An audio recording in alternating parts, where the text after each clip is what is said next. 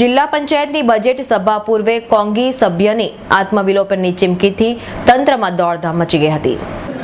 વડોદરા જિલ્લા પંચાયતના વીસ કરોડના બજેટને મંજૂર કરવા આજે મળનારી સભા પૂર્વે કાયાવરણ બેઠકના કોંગ્રેસ જૂથના સભ્ય રમેશ વસાવાએ ગ્રાન્ટની ફાળવણીમાં અન્યાયના મુદ્દે આત્મવિલોપનની ચીમકી ઉચ્ચારી હતી. જેને લઈને જિલ્લા પંચાયત ભવન ખાતે ફાયર એન્ડ ઇમરજન્સી સર્વિસનો સ્ટાફ તેમજ પોલીસનો ચુસ્ત બંદોબસ્ત તકેદારીના ભાગરૂપે ખડકી દેવામાં આવ્યો હતો.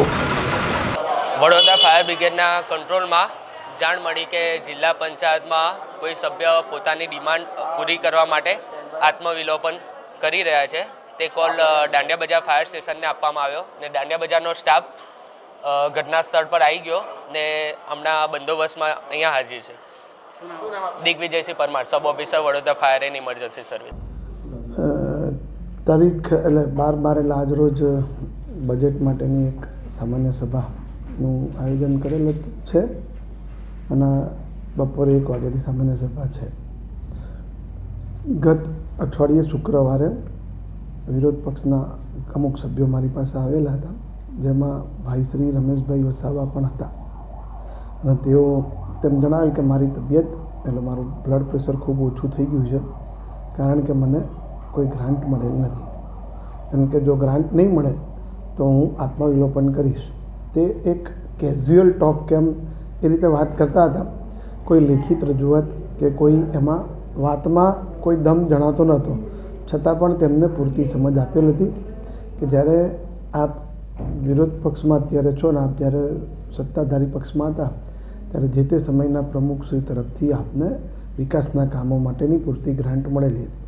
આ વખતે પણ હમણાં જ આપણે દરેક છત્રીસે છત્રીસ સભ્યોને પાંચ પાંચ લાખ રૂપિયા આપેલા જ છે.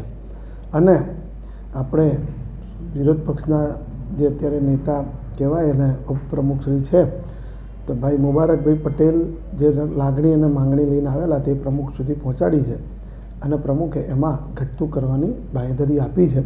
એટલે ભાઈ રમેશભાઈને જે મનમાં એક શંકા હતી કે તો હાલ એક આ પ્રમાણેનું વહીવટી તંત્રને ભાનમાં રાખવા માટે જે આ પ્રકારે દરેક નાગરિક પ્રજાજન કામ ના થતું હોય કંટાળ્યા હોય ત્યારે ક્યાં તો કંઈક એવા તબક્કે આ પ્રકારે જે આત્મવિલોપનની જે વાત કરતા હોય છે, તો તેઓ તરત જ ખુશ થઈ અને એવું તો કે સાહેબ હું તો આ એક જનરલ વાત કરતો હતો, મને કંઈ એવું મારા પત્ની, બે દીકરી અને એક દીકરો છે, તો કે હું કોઈ મારા એરિયાના કામ માટે, મારા ફેમિલીનો મારો લોસ ના થાય, એની મને યોગ્ય રીતની જાણ જ છે? અને કે સાહેબ, હું એક ચૂંટાયેલો પ્રતિનિધિ છું, તો હું એમ કંઈ આત્મવિલોપન કરે એવો માણસ નથી.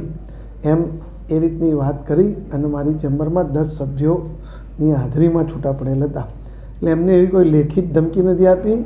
આ તો એક કેઝ્યુઅલ ટોકમાં એમને કહ્યું હતું પણ અમે તંત્ર તરફથી પૂરી તૈયારી રાખેલ છે.